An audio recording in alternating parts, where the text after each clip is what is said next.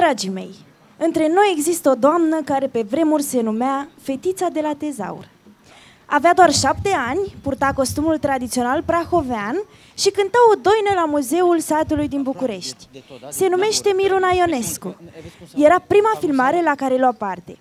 În spatele camerelor se afla chiar Mărioara Murărescu, iar la porțile muzeului o aștepta profesoara Maria Tănase Marin, cea care este alături și astăzi pe drumul muzical.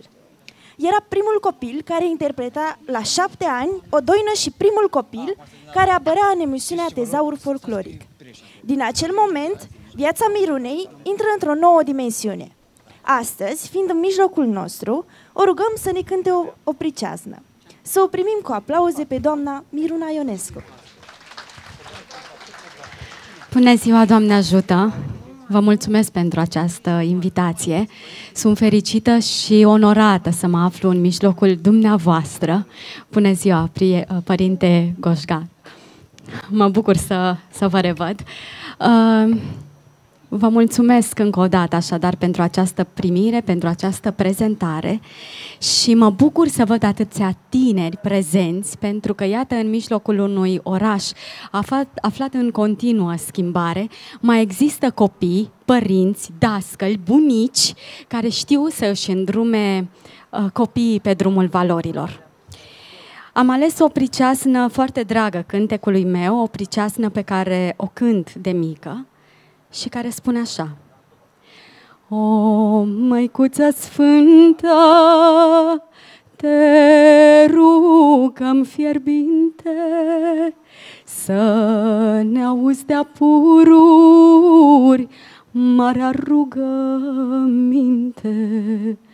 Nu lăsa, măicuță, să pierim pe cale, căci noi suntem fii lacrămilor tale.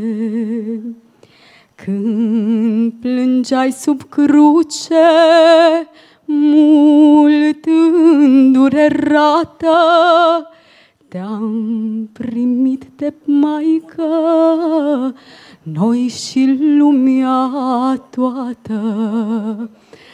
Nu lasa, măicuță, să pierim pe cale, căci noi suntem fii lacrămilor tale.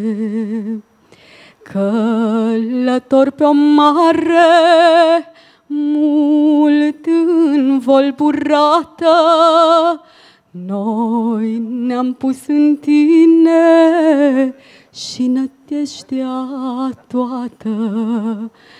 Nu lasa, măicuță, să pierim pe cale, Căci noi suntem fii lacrămilor tale. Iar când nor și ceață în negri vor zarea, tu, măicuța sfântă, să ne arăți cărarea. Nu lasa,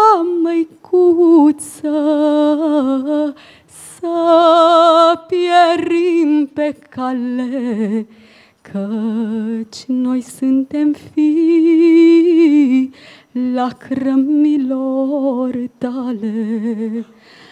Nu lasa, măicuță, să pierim pe cale, căci noi suntem fii lacrămilor tale.